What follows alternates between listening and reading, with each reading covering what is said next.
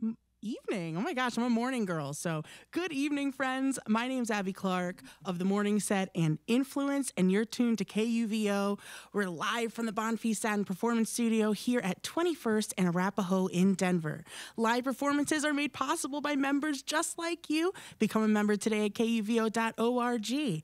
All right, we got a great band in the studio today. Many Colors, a soul hop stew, a fresh jazz steeped in lo fi soundscape, and a grooving rhythm section. This is a four piece band featuring Brant Williams working the guitar and samples, Braxton Kahn keeping times at drums, Eric Luba on the keys, and Kirwan Brown holding it down at the bass. Thanks so much for joining us in the studios this evening. Yeah, thanks for having us. Of course. So today you're going to do a couple of things. You have a great project where you're paying homage to the great J Dilla, which we'll get into in just a second, but you'll also be gracing our ears with some of your own compositions. That's right. All Yep. right. Well, what do you got to start out here with? Um, this first one is a mashup of a bunch of J Dilla beats um, from uh, across his career. So, uh, first one's intro from Slum Village, which is his first record, and then we go into E equals MC squared, which is off his last record, um, and kind of everywhere in between. So, uh, yeah, this is how it goes. All right. You're listening to KUVO Jazz, and this is Many Colors.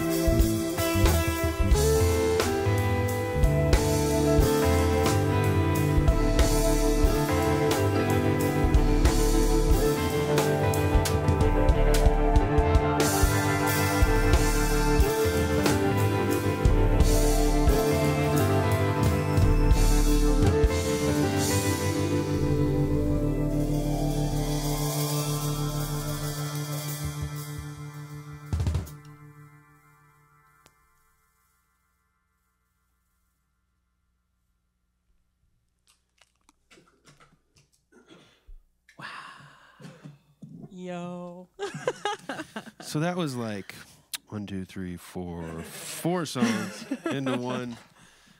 a lot of his pieces are just beats, and they're you know anywhere from a minute to a minute and a half. And so some of those, it's nice just to throw them in there. You know. Yeah, it was a beautiful medley. Got a little taste of everything. I was getting the stang face on a couple of those. There you go. Really groovy. You guys are big fans of J Dilla, who has left his mark on the hip hop community and the music community in general. What was it that made you decide you wanted to dive into his catalog and put it through the many colors lens? Um, it's an easy way to get gigs. it was kind of a way. The music's great, and harmonically, uh, he's kind of known for his rhythmic stuff. Yeah. but harmonically, I think it's just as deep, and it was kind of fun to explore that. Um, but it's kind of a way to do a cover show, which you can get more money for, um, but also uh, put your own spin on it. So Yeah. that was kind of the idea. Which you definitely did. I know we met a while back. Uh, you were doing the King of Beats tribute show, which you've done a couple of times, um, which is the tribute to J Dilla. And I'm just, I need to take a moment and look at these drums because these cymbals are very interesting. I see a wallet taped. This really keeps the time. Can you talk about the J Dilla beat Yeah. and how you do it? Yeah. So I mean, you know, I, I come from a jazz background. I mean, I remember playing in like college bands here on Kuvo and stuff. And and j- my lens through which I observe all this stuff is kind of jazz based. So uh, you know, I, I try to still cre- have a live sound, but something that really informs what I do when I'm playing this stuff is the sound of the program drums that J Dilla uh, would use on the on his MPC or sampled snares from old soul records or full grooves or full full things like guitar. He'd have like guitar, bass, drums, all of it sampled, and then put his own thing or whatever any number of ways of putting that together. So for me, I'm trying to imitate some of these things. So I have this thing called a clap stack from Rever. Uh, I think it's Reverie Cymbals. Um, which is a North Carolina based company. I'm not endorsed by them. I'm just shouting them out because they make awesome stuff. Um, but this is called a clap stack, so it kind of imitates the clap sound that you hear on a lot of J Dilla would sample claps a lot. Yeah, So it's like three cymbals. yeah, it's three cymbals kind of literally screwed together, and they're it's pretty dilapidated. It looks like something you'd find uh, in a junkyard. Well loved. Yeah, well loved. Yeah, and th- and then like yeah, the wallet on the snare, just Kinda like de- deaden everything. Put a deaden the toms. Just kind of cr- try to get that sound. That kind of it sounds like hip hop instead of like yeah. too much like live drums. You know. Yeah. And then you're really pulling it out with those keys too and the samples. We're getting everybody involved here in the conversation. Yeah, uh, Brant usually runs the samples when when we when we run them, but in terms of like keyboards, you know, it's mostly just like Fender Rhodes, and then maybe like a synth, but then like the rest of it is just like samples, which I'm kind of just imitating with like Mellotron patches, which is like a old keyboard that runs tape. So it just sounds old. So it sounds like a sample, you know. Yeah.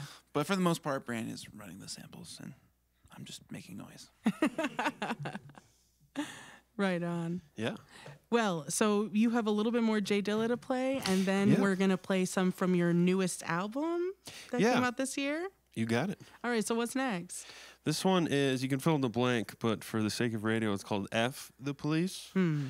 Uh, the the story is he J Dilla kind of blew up, um, and he needed a new car, or his first. He needed a. He's he stopped borrowing his mom's car or something, and uh, his first purchase was made in straight cash, and so it was a super nice car, and he had his own house, and the uh, police started messing with him and coming by, and so uh, he wrote this, and we don't do the.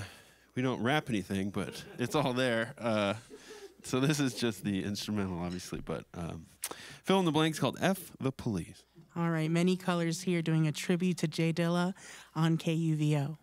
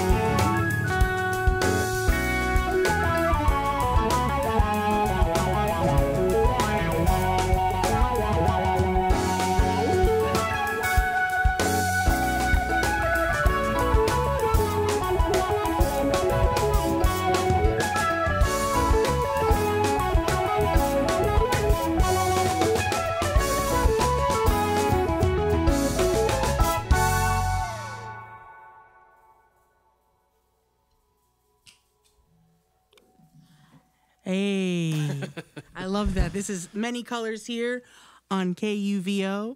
We have Brant Williams at the guitar, Braxton Kahn at the drums, Eric Luba on the keys, Kirwan Brown holding it down on the bass.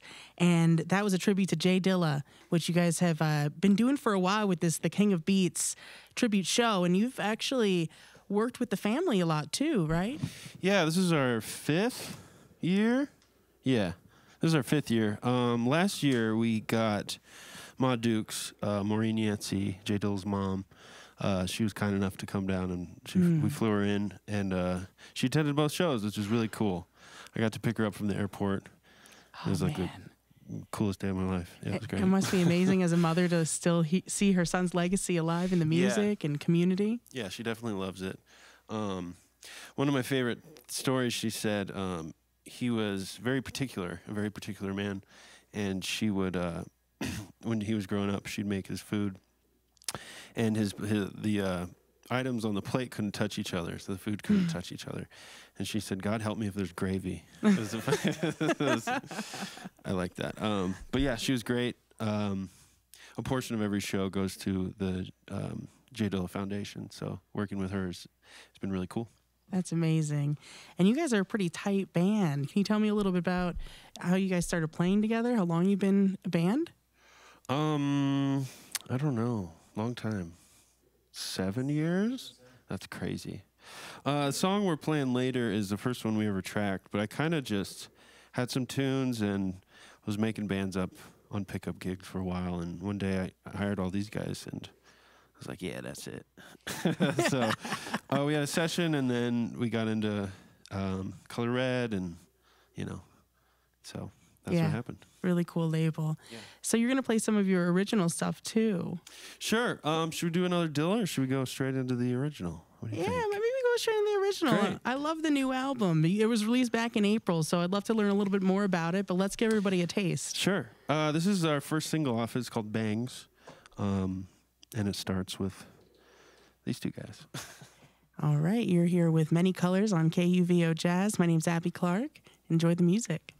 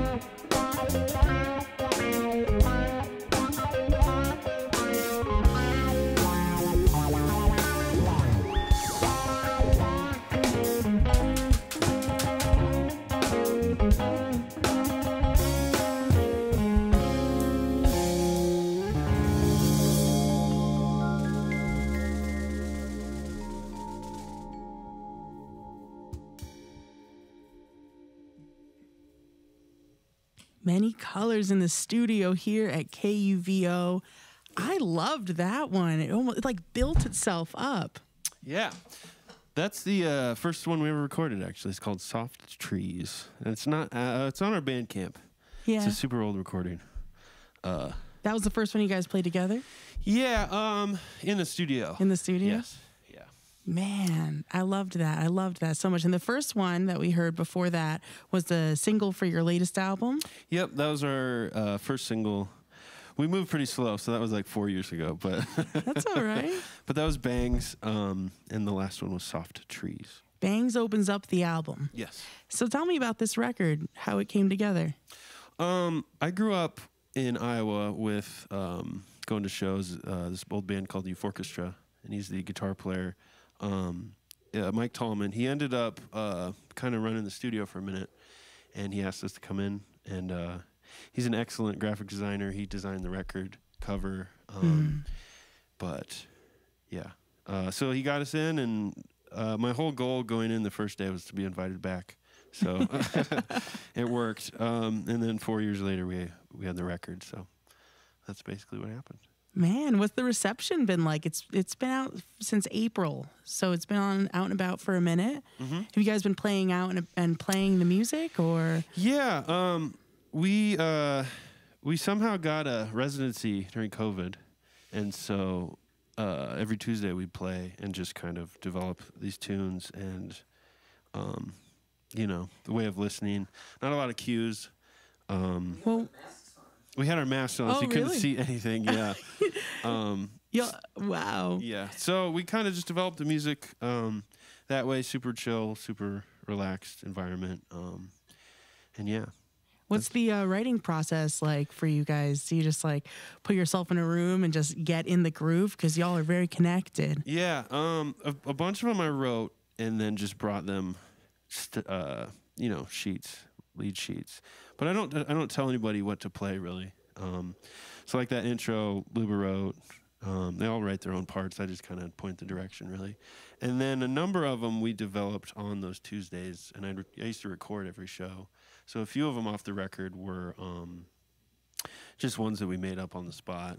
And then um, Luba also has a few tunes on there Nice. on the record. Yeah. You all have a very distinct sound coming together. It's it's really nice. This is Many Colors with Brant Williams at the guitar, Braxton Kahn keeping it at the drums, Eric Luba on the keys, and Kirwan Brown holding it down that bass. You're giving me that stank face. Thanks so much. All right. Well, I know we might have another J Dilla one on tap, but what do you guys feel like playing next? I don't know. Should we do a record or should we do some JD? what would you suggest? What would I suggest? Hmm, I want to hear another original. Okay. Right on. All right. This is on side A of the record. It's called The Wisp.